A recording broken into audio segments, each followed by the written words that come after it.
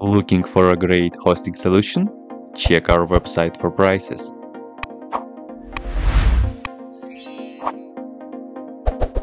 First what you need to do is to update the server packages. You can do this by the following command.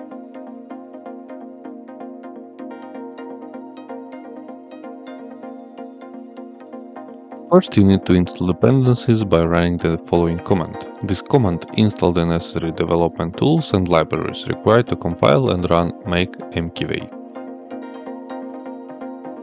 Next download the MakeMKV source file. This command download the latest version of code.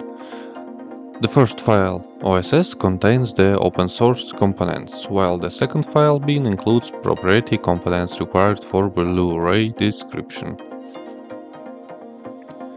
Next, extract the downloaded file by running the following command.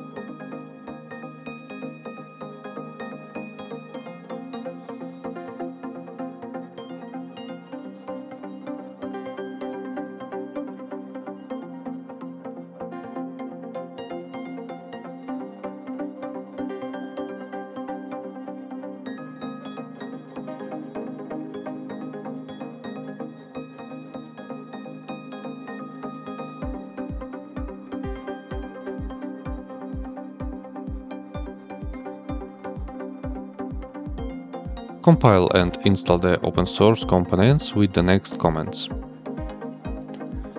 Once the installation finished, compile and install the MakeMKV binary with the next commands. Now you can run MakeMKV by simply typing MakeMKV in the CLI or you can find it in your graphical shell and run it from the application menu. That's it. If you have any question, please leave them in the comments.